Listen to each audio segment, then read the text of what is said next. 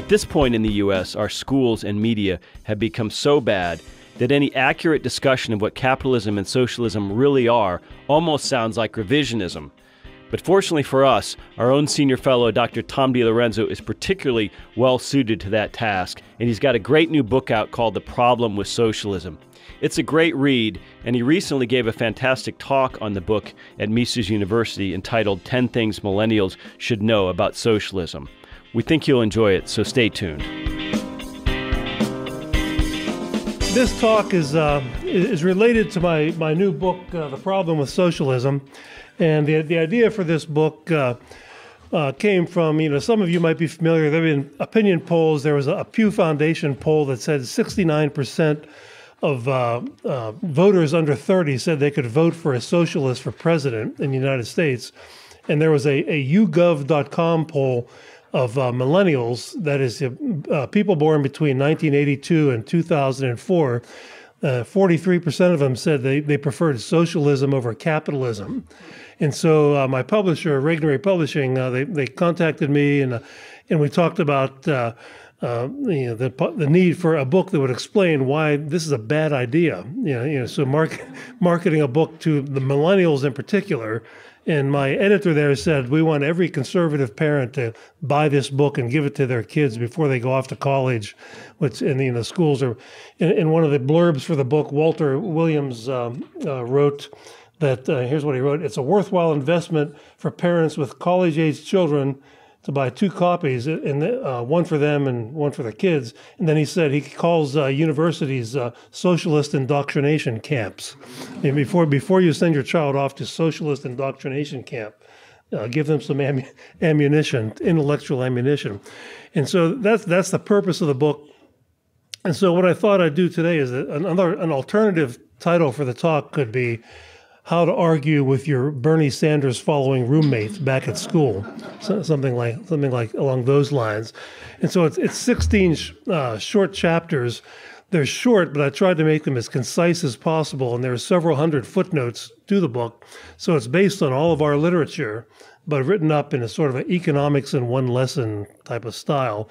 So I'm going to go over some, you know, as many of these as I can get through some of the, you know, one or two of these, uh, th- this crowd probably doesn't need to hear about uh, too much, but I'm going to do it anyway because um, we have a diverse crowd here. Well, first of all, you know, what is socialism? All these um, the millennials who say, "Yeah, socialism is, is a good thing for my future." Uh, I, I, hope to. I like to assume they don't really know what it is. What it is, you know, and, and that if, if they do learn, they'll change their minds.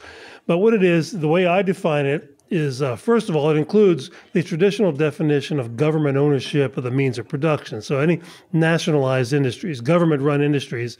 And I do have a chapter called Islands of Socialism. It's about government run enterprises. They're not nationalized, but it's the state government or the local government, you know, hospitals, schools, all the things that uh, governments run. But then uh, in the 1976 edition of The Road to Serfdom, Hayek uh, wrote that the meaning of socialism had evolved by that time to include government income redistribution programs through the welfare state and the progressive income tax. And he said that the goal was always ostensibly equality, the pursuit of material equality, egalitarianism was always the goal, but the means evolved from nationalization of industry to the welfare state and the progressive income tax. And the progressive income tax, of course, is plank number two in the Communist Manifesto. Plank number one is abolition of private property. And then the second most important goal of Marx and Engels was a progressive income tax in capitalist economies because they thought it would it would help to destroy capitalist economy, undermine capitalist economies. So uh, part number one is nationalized industries. Part number two is the welfare state and the uh, progressive income tax. And then I also include what Mises said in his book Socialism. In one of the latter chapters, he said that socialists have always had a dual strategy. The parts the first part of the strategy was to nationalize as much as possible, to have the government run as much as possible. The second part of the strategy is what Mises calls destructionism to destroy the private property free enterprise system with heavy taxes, heavy regulations, inflation, whatever works. You know, uh, taking over the educational system and brainwashing the kids in, uh, uh, with the, the virtues of socialism and the evils of markets, whatever works, destructionism. And so, with that definition, it's not the old early 20th century definition of government ownership of the means of production. It's much broader. So I have 16 chapters in, in the book, 16 short. It covers a lot of ground.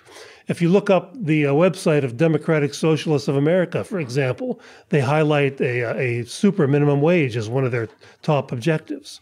And so you know, that's not government ownership of the means of production, but it's a government mandated $15 an hour minimum wage. And so, uh, so I, I take uh, I take it from the horse's mouth. In other words, by looking up uh, what the socialists of our day are saying they want.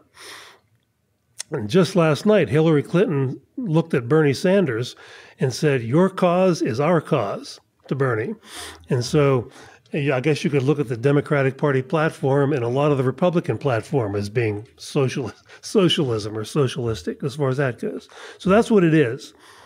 Uh, point number two, I wrote down here. I probably probably don't need to explain this to this group that socialism will destroy your economic future, and so I write a little bit about the history of of uh, the Soviet Union, for example. Our friend Yuri Maltsev, who has taught at Mises University in the past, was an advisor to Mikhail Gorbachev, who defected from the Soviet Union, and when he defected he ends up, uh, it's a very interesting story. I don't have time here to tell Yuri's story, but uh, he ends up in the office of Dick Cheney, the, who was the defense secretary at the time. And he told Cheney that the Soviet economy was no more than 5% of the U.S. economy. And Yuri's story is that, well, Cheney says, well, our CIA says it was, it's more like 50%. And Yuri was insistent, no, 5%. And he was right. And so the country with the, the largest natural resource base on the planet uh, really had no economy. Uh, it's five percent of our economy at most, and it never produced a single product uh, marketable on international markets, with the exception of possibly of caviar, but that comes from a fish and not a factory. And so, uh, and so it'll certainly ruin your, your economic uh, future. And I also talk about, you know, when India gained its independence, they adopted a sort of a Soviet style five year economic plans, and India became synonymous with uh, third world poverty. But India was one of the once one of the wealthiest countries on earth you know, a long, long time ago, but uh, when they had more economic freedom. They've, they've made improvements since those days, but it was a terrible disaster that they went in that direction. Africa did the same thing. Uh, after the after colonization ended, all these African countries um, uh, adopted socialism of one form or another in central planning. And if you're interested in that particular topic, the author, one of the authors that I cite is George Ayittey, uh, who's written many books on this. He um, last I was in touch with George, he was teaching at American University in Washington D.C., and he's he's from Ghana, but he's been in the U.S. for many years. So if you're interested in that, you can read George, and uh, and he. Uh, you know, he, he's written books on how Africans had, you know, they had a, a culture of entrepreneurship and individualism, you know, before colonialism, and instead of going back to that culture, they their governments embraced uh, socialism and central planning, and you know the rest is history.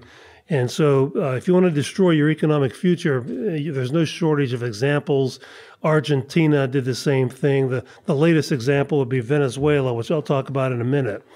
Uh, point number three is uh, you cannot fix socialism. Uh, you know, I've, I've been at this quite a while, and whenever, if I write op eds criticizing some government program or some government regulation or, or legislation or something like that, I will inevitably get email from somebody who says, but we can fix this. We can get smarter people in charge, or we can do it like they did it over there in that country, or something like that. But the thing about socialism, of course, is there are inherent reasons why it inevitably fails as an economic system, regardless of who's in charge. And, uh, and I lay it out in, in my book to uh, to a lay audience. And you know, the three basic reasons are the uh, the incentive problem, the old incentive problem.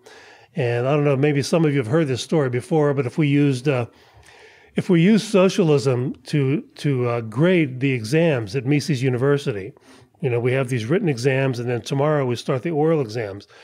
What we would do would that we would tell the faculty when we do the oral exams tomorrow, give each student a, po- a, a number of points, maybe from one to ten. If you're an A plus student, you get ten during our interview with you. Okay, and then we'll add up all the points, divide by the number of students, and give all give every student a marginal fail or something of the same grade or, or marginal pass, some sort of mediocre same grade. That's that would be social using socialism.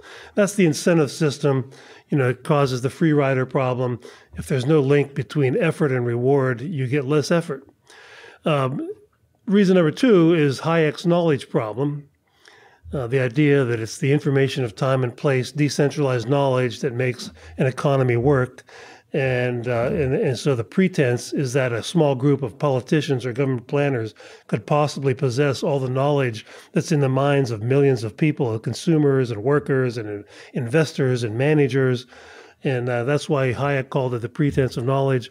And the third reason, of course, is the calculation problem. Uh, without without private property and free market prices, uh, you don't have the guidance of free market prices. It, it comes in, becomes impossible to organize production uh, without uh, without prices determined by supply and demand. It all becomes chaos. It's kind of like uh, trying to uh, make your way through a foreign city without street signs, uh, without prices based on supply and demand. And so and so these are the reasons. It doesn't matter who's in charge. Socialism is economic poison for all of these these three reasons. And that's why it has destroyed every economy where it's ever been in tried. Uh, Point number four is uh, the myth of democratic socialism. And we hear a lot about this that, uh, and I can, uh, maybe some of you saw uh, Larry David on Saturday Night Live portraying Bernie Sanders. Have you, have you seen him? You know, you know he has, he's a white haired old guy and he kind of looks like Bernie Sanders. You know, look at the, look at the kind of like the crazy chemistry professor look with the hair everywhere and, you know, and beady eyes and a bulging vein in his forehead and uh, that's Bernie Sanders anyway. It kind of reminds me of a of a, a thinner uh, Nikita Khrushchev when he gives speeches. He leans forward, he screams into the microphone, and he's pounding his fist. And and uh, and so and he did. By the way, Bernie spent uh, very charmingly spent his honeymoon in Moscow when he, when he was a young man in, in, the in the darkest days of the Soviet Union. He chose Moscow of all places for for his honeymoon his wife must be a real sweetie to to have uh, go along with stuck with him for all these years uh, after he took her to Moscow in the 1960s, uh, and uh, but but uh, but democratic socialism. Uh, look at Venezuela today. they adopted democratic socialism. Well, my story about Saturday Night Live is uh, Sanders one day saying there's a huge difference between socialism and democratic socialism. And in uh, and uh, the comedian said, "Oh, huge spelled with a Y, is it?" Uh, so yeah, huge, he was like that. But there is no difference. You know, socialism is socialism. Obamacare is a form of socialized medicine. It doesn't matter if it was imposed on Americans by a dictator or by democracy. It's still the same thing, and it's still it's still going to be just as chaotic and disruptive. Doesn't matter how it's imposed. Socialism is basically the the forceful imposition of a government plan or set of plans on society that replaces individual plans for their own lives and for their own careers. And so you can do that through a majority rule vote or you can do it through a dictator, but you still get the same thing. Friedrich Bastiat wrote that and made that very point in the law published in 1850. So this is um, this is nothing original with me. But Venezuela today, they adopted socialism in uh, democratic socialism in 1999, and today their economy is uh, is uh, a shambles. Middle class people who had very good jobs. Uh, Venezuela has more oil than Saudi Arabia. Uh, are out rooting through garbage in the streets looking for food to eat. Uh, they got hyperinflation of 1,600% a year at least. A hamburger in Caracas will cost you the equivalent of $170 today uh, and uh, animals are starving. People are abandoning their pets, and, and it's just anybody who can leave is leaving. And so they they've destroyed uh, what was once the wealthiest country in Latin America in about 15 years uh, with uh, with socialism, democratic socialism. Uh, same with Argentina, did the same thing. Brazil, Bolivia, same thing. Sweden is a country that is often talked about by uh, Bernie Sanders and Hillary Clinton uh, as, as a model for Americans. We should be more like the Scandinavian countries. But the truth about Sweden is that Sweden was very prosperous from the late 19th century till about the 19 till about 1950 because it had a limited, very limited government, low taxes, high degree of economic freedom. They produced all these uh, great inventors like uh, Alfred Nobel, who invented uh, dynamite, uh, the people who created Volvo and Saab automobiles, refrigeration technology, and a lot of other uh, uh, businesses and products. And then they adopted first, they sort of uh, experimented with fascism, and then they moved to socialism and by nationalizing a number of industries, creating a big welfare state, heavily progressive income tax, and lots of regulation of what was left of private businesses. And as a result, Sweden had zero job growth from 1950 until 2005, according to the Swedish Economic Association. They did not have one single net new job created for 55 years, which means they were basically eating up the capital that was created by the earlier generations of entrepreneurs and capitalists and taxing it away. And it created a bit of a crisis for them, as you uh, would imagine. And so they did what governments, socialist governments always do is uh, try to print their way out of trouble and bail themselves out by printing money. And they printed so much that they had 500% interest rates in Sweden at, at one point. And that, that caused them a bit of a reaction, sort of a Margaret Thatcher style revolt, where they, uh, they privatized some industries, they deregulated uh, uh, uh banking and a number of other industries, cut marginal tax rates, and made a bit of a comeback. But Sweden today still has per capita income less than Mississippi, which is the poorest state in the United States. And so when, when, when people make the case that, well, it's successful in Scandinavia, it was before they adopted socialism. Yes, Scandinavia was, uh, Sweden was successful economically. They had the highest per capita income growth from 1870 until about 1940 in the whole world. And, and then they abandoned that. They threw it all away. Uh, in, uh, in Denmark, um, uh, I quote a Danish economist saying that you know they have such heavy taxation in addition to the income tax, which is quite heavy and quite progressive. There's there are things like 180% sales tax on cars when you buy a car. A national sales tax, I think, is 25%. And he said the total tax take that uh, this Danish economist I quote is about 70%. And so, uh, you know, government takes 70% of your, of your income. And so, uh, in following my friend Walter Williams, I would point out that, that a good definition of slavery is forcing a person to work for the benefit of another person. That's a pretty good definition of slavery. Now, the real slaves were slaves for 12 months out of the year. But the Danes are slaves for just 70% of the year, so they're not quite as bad off as real slaves. They're they're only slaves to other people for 70% of the year instead of instead of 20 uh, 30% of the year. And of course they get something back from uh, from from this, I guess. And so and Hayek uh, addressed this this whole issue of democratic socialism to explain that it's like oil and water. Uh, socialism eats away at and destroys democracy eventually. And I'll read you one little passage from Hayek to give you one some idea of uh, the type of thing that he says about this. He said the democratic statesman who sets out to plan economic life, socialism, will soon be confronted with the alternative of either assuming dictatorial powers or abandoning his plans and admitting failure. He would soon have to choose between disregard of ordinary morals and failure. It is for this reason that the unscrupulous and uninhibited are likely to be more successful in a socialist society. This is from The Road to Serfdom by, by Hayek. And so, you know, for the reasons I gave earlier, socialism always fails.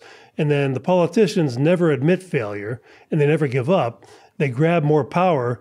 And a lot of the public will, will want a strong man. The public will come out in favor, yeah, we need a strong man or a strong woman to be in charge and become more dictatorial. And of course, that's the opposite of what we think of as democracy.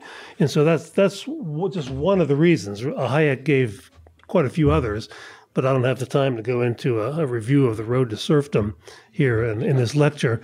But uh, but that's just one part of his logic of how socialism is actually destructive of democracy. It's not compatible. Uh, point number five I would make is it's, it's false.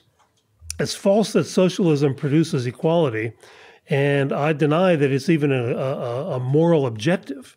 I think it's an immoral objective. Uh, I, I, have a chapter entitled uh, Egalitarianism versus Human Nature. And of course, uh, we're all different. We're all made different. We all have different uh, interests and, uh, and degrees of intelligence and strength and biological characteristics and so forth.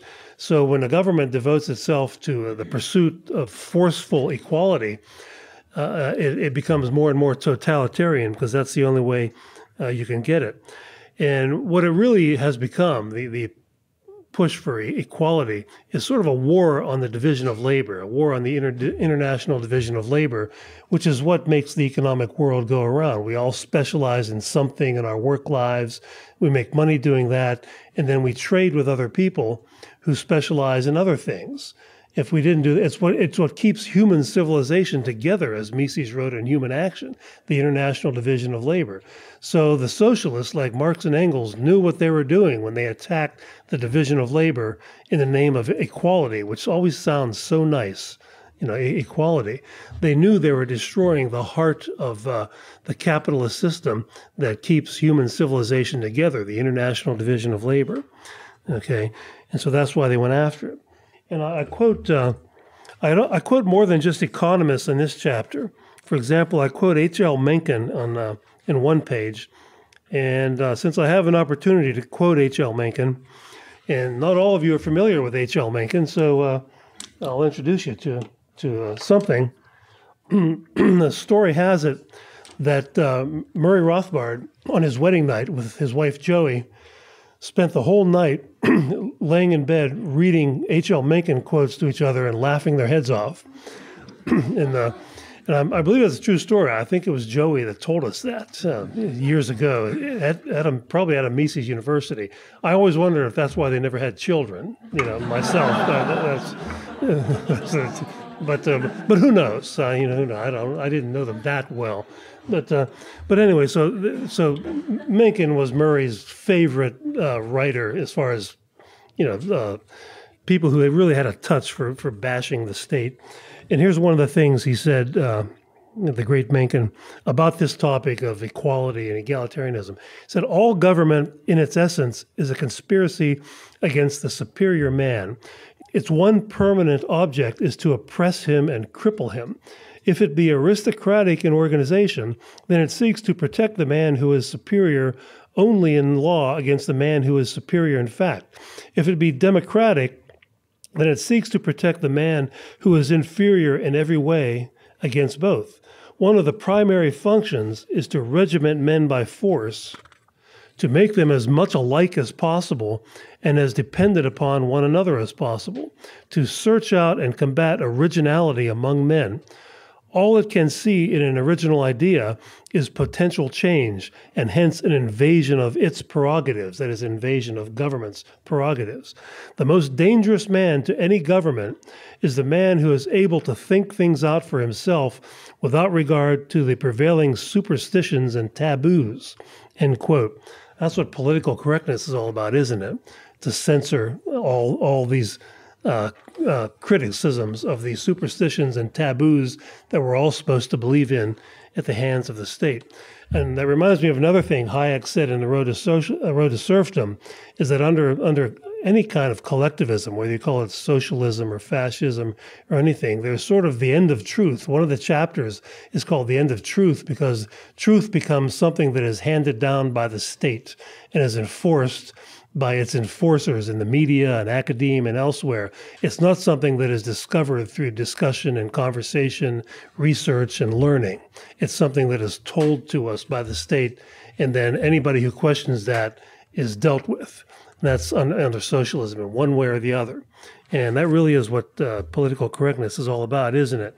I also cite uh, uh, Kurt Vonnegut as a non economist here. And uh, in his famous uh, essay, Harrison Bergeron, who sort of spoofs the whole idea of equality, forced equality at the hand of the state. Not equality under the law, but the state's attempts to make everybody equal in some way. And here's what Vonnegut said. He said, The year was 2081, and everyone was finally equal. They weren't only equal before God and the law, they were equal in every which way. Nobody was smarter than anybody else. Nobody was better looking than anyone else. Nobody was stronger or quicker than anybody else. All this equality was due to the 211th, 212th, and 213th Amendments to the Constitution and to the unceasing vigilance of the agents of the United States Handicapper General. And so, and so the, the Handicapper General worked as follows. Hazel had a perfectly average intelligence, which meant she couldn't think about anything except in short bursts. But George, George, while his intelligence was way above normal, he had a little mental handicap radio in his ear, put there by the government. He was required by law to wear it at all times. It was tuned to a government transmitter. Every 20 seconds or so, the transmitter would send out some sharp noise to keep people like George from taking unfair advantage of their brains. End quote. And, and then I finally quote Murray Rothbard after this as saying the reason why writers like this sort of uh, spoof egalitarianism and forced equality and, and make it sound like a, a nightmarish thing is because it is a nightmarish thing. And Rothbard wrote, when the implications of such a world are fully spelled out, we recognize that such a world and such attempts are profoundly anti human. Being anti human in the deepest sense, the egalitarian goal is therefore evil, and any attempts in the direction of such a goal must be considered as evil as well. And and so the governments always fail to do anything but make everybody equally miserable under socialism. But the political elites and their supporters in the so called private sector always do very well. For example, you can read in the New York Times and a Wall Street Journal today that the wealthiest person in Venezuela, where, where upper middle class people are rooting through garbage in the streets looking for food, the wealthiest person in the country is the 35 year old daughter of the late Hugo Chavez, who, uh, who is worth reportedly $4.2 billion even though she never ran a business or had a job, as far as I know. The former Treasury Minister of Venezuela is reportedly worth $11 billion, even though he was in the same situation. I'm, I'm, sure he didn't create $11 billion of value for anybody or any value at all. They just stole the money. And so, in the, the latest uh, big, long New York Times article about Venezuela that I read, there were about 10 pages of pictures of all these awful pictures of the, the poor people scrounging for food and things like that. Uh, but and at the same time, there were pictures of uh, Hugo Chavez's political pals all joining uh, country clubs, the Caracas Country Club, where it, costs like the, the equivalent of seventy thousand dollars to join, and and they're just having a good old time because uh, that's what socialism does. There's a, it's always been like it was true in Russia, true in Africa, India, wherever it is, it has been. You've got a grotesque inequality. Uh, look at all the Latin American countries. You've got this elite at the top who lives high on the hog, and then everybody else, there's no middle class. Everybody else is in the lower class. That's the model. Okay. Uh, you know, your classmates and your roommates, when you go back to college, uh, should know that uh, your, your professors who always take the moral high road by touting socialism and criticizing markets are, associating themselves with an ideology that is responsible for the worst crimes in all of human history. That there's a book called The Black Book of Communism that you can read about these crimes in. There's another, read a book called Death by Government by R.J. Rummel. He also has a website. You can you know just Google uh, Death by Government. What a depressing career that must have been. He spent his whole career uh, calculating how many people were murdered by their own governments in the in the, throughout the world, and uh, and he has this huge website, several books about it. And just to give you some idea of the magnitude of this, the next time one of your professors takes the moral high road and goes, uh, you know, uh, in promoting socialism, the, the Russians murdered 20 million of their own people. These are not war deaths. These are this is these are murders of dissenters to socialism. China 60 million, Vietnam 1 million, North Korea 2 million, Cambodia 2 million, Eastern Europe a million. Yeah, they were pretty good in Eastern Europe. Latin America a mere 150,000, Africa 1.7 million. And he, uh, Rummel calls this democide. It's a death by government. and uh, and so uh, and I also uh, had one big long paragraph that I quoted from one of these studies of sort of the methods of torture that were also used to uh, uh, against dissenters, and so that's something that nobody knows. I I, I gave some of my students this. I, I, teach a course called Capitalism and Its Critics, and I have them read some of the bad guy stuff. I have them read the Communist Manifesto, and then then parts of Socialism by Mises, and you go back and forth like that. And I, I gave them a table from R.J. Rummel's book to, to let them know about this. And then and a couple of these guys were in the college Republicans, and they had one of these days where all the all the clubs on campus have a little booth out on the quad and they hand out literature or something or sell cupcakes or whatever they, they do. And uh, and and of all the things they were giving out my handout of the you know death by government handout to all the students who are walking by instead of handing out selling cookies or something like that. And and they told me that nobody knew anything about this none of their classmates knew anything about this. You know they thought they thought there was uh, communists were all like Bernie Sanders you know you know, you know cute little grandfather types, you know, you know that you see at Christmas. That's uh, such big sweetie pies. Uh, and so I don't know how much uh, progress they made there, but that's what they did. Uh, I guess I'm on point number uh, seven is fascism is a form of socialism. You know, one of the most evil words in the English language, fascism. Hayek called it a violent anti capitalistic attack, fascism. After all, the Nazis were, uh, were the National Socialist German Work, Workers' Party. That's what that National Socialism is what Nazi stood for, and uh, so Hitler called himself a socialist. Uh, although fascism was just a, a, version of socialism, it was national socialism. The Russians called themselves international socialists. And by the way, they didn't call their government communist. They called it the Union of Soviet Socialist Republics. They didn't call it the Union of Soviet Communist Republics. Communism was the utopian ideal of Marx, uh, of Karl Marx, that they, they hoped to reach someday when nirvana would be attained. But in the meantime, they're all socialists. And uh, when, when the Soviet Union finally imploded, Gorbachev was going, Mikhail Gorbachev was going to Lithuania and, uh, and Estonia and all these, you know, the uh, possessions of, uh, the, of the Soviet Union. And he was telling them, go ahead and do whatever you want as long as it's consistent with socialism. He didn't say consistent with uh, communism. He said socialism. So they always considered themselves socialists, not communists. We call them communists in, in this country. And the fascists all came from communism. For example, I, I quote uh, Mussolini here.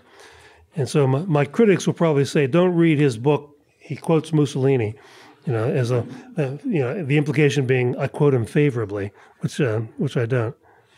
I also quote Hitler in this book, too. Um, here's something, just one short quote from Mussolini in, in, in uh, his book, Fascism, Doctrine, and Institutions.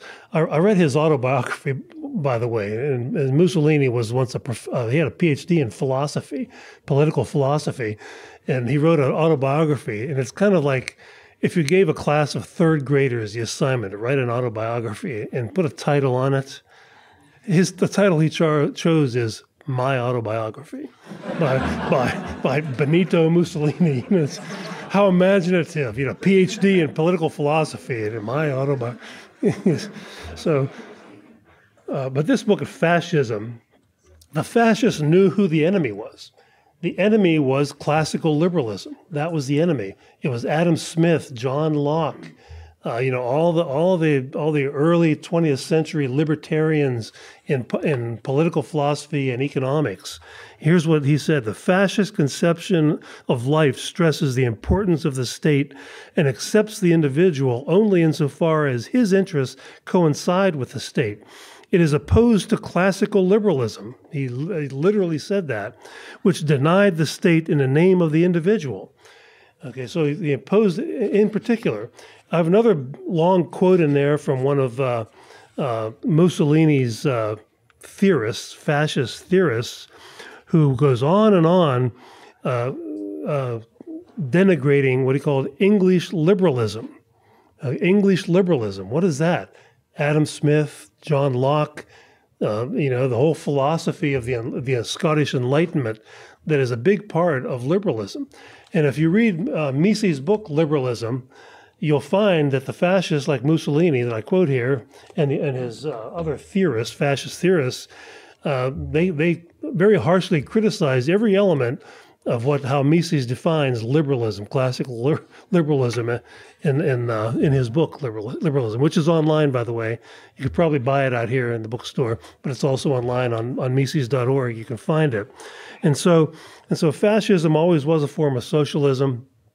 Uh, if you look at what the German fascists did, they nationalized about half of all German industry, and the other half was so heavily regulated and controlled so that it operated for the state and not the individual.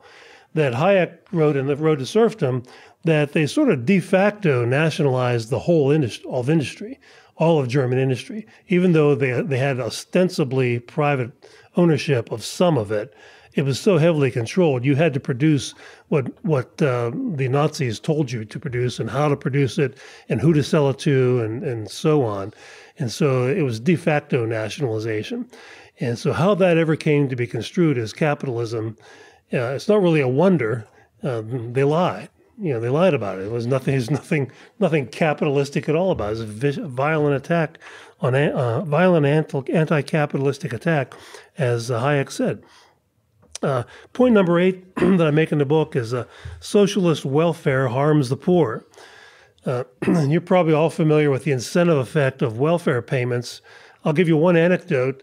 Uh, the Cato Institute did this study where they, they picked out seven popular welfare pro federal welfare programs out of 126, just seven out of 126, and asked the question, well, uh, how much money is that state by state? And in the highest state, Hawaii, it's $49,000. In the in the lowest welfare state, Mississippi, it's eighteen thousand dollars.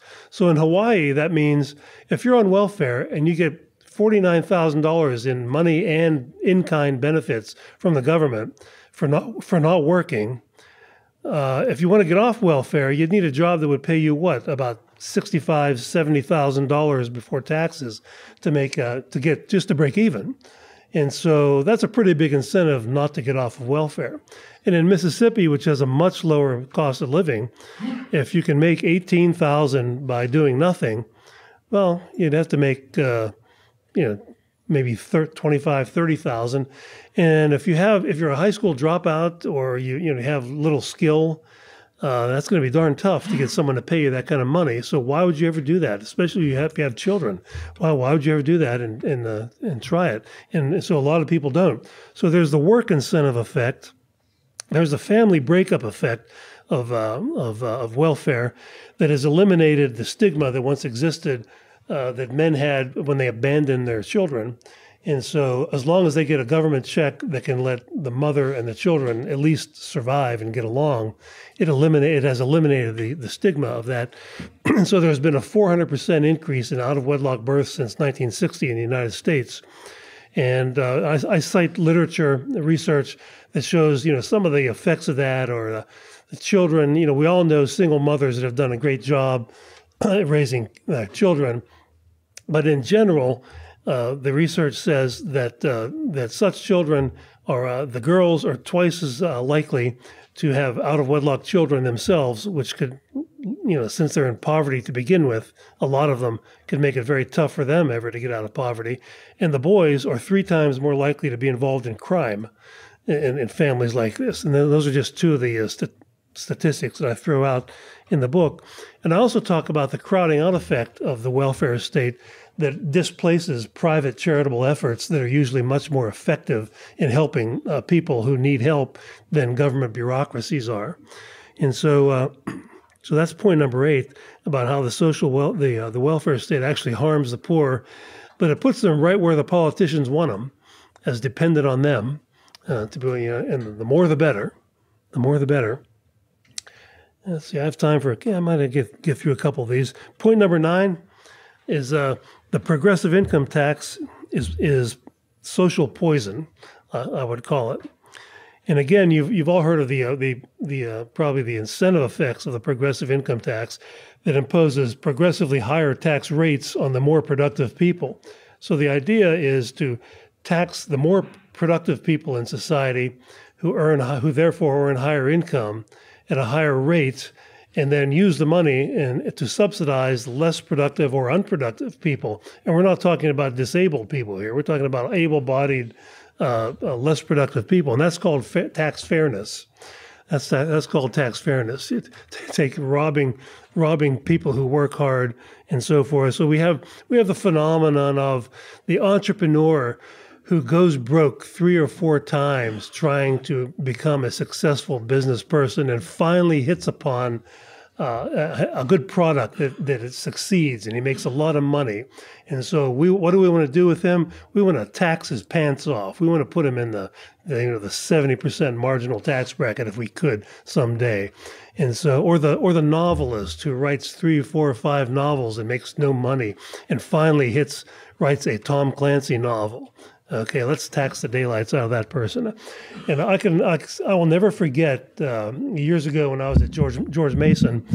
Uh, we had a, a, guest lecturer from Sweden. Um, and I'll never forget this uh, uh, female novelist from Sweden, who was who we were told was uh, one of the most better known novelists in Sweden at the time. And she had just moved to the United States and one of the faculty members there knew her somehow and brought her to, to the economics department to give a talk. And her talk uh, was that the, the main reason she was moving to the United States is that she finally succeeded. You know, she struggled for years and didn't sell many. And finally, she had a couple of novels that were big sellers, and her tax rate was 110%. So if she made 100 grand on a novel, she owed $110,000 in tax.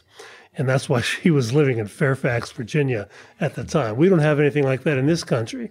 But that's you know, that's sort of the end game of the of what where progressive incomes taxation takes you. But the most insidious part of the income tax in general, I quote Frank Chodorov, who wrote the, this great book, The Income Tax Root of All Evil, which is for sale out here. It's also online, Chodorov. Uh, that w- when we adopted the income tax, the government basically said, We now own all of your income. They nationalize income, and we will tell you how much of your income you can keep by setting the tax rate. So the income was nationalized, and the federal government got a gigantic new source of income. You know, there was no income tax in the original Constitution. And so what did that do? That led to a tremendous centralization of power because now the government had all this income. Chodorov writes, for example, during the Civil War, there was a lot of uh, there was a lot of a lot of soldiers in the in the U.S. Army went AWOL or or uh, you know you know, just, just left left the army. But Lincoln did not have the resources to hunt them down. But uh, Chodorov writes, but after the income tax, the U.S. government does have the, the resources to hunt down, um, you know, people who uh, uh, you know leave the army and, and, things like that. They also have the resources to bribe a lot of people, giving them government grants and threatening the withdrawal of the grants. Uh, if they don't behave in the way the government wants them to behave, and that includes the state and local governments. And so Chodorov sees the income tax as something that was sort of the final nail in the coffin of American federalism or states' rights, in that it, it created this, this tremendous centralization of power in the central government. And centralized power is always the enemy of freedom. Uh, and so, uh, and, and I, so I look at the the income tax, the progressive income tax, much more broadly than just sort of the minor economic work incentive effect at the income tax.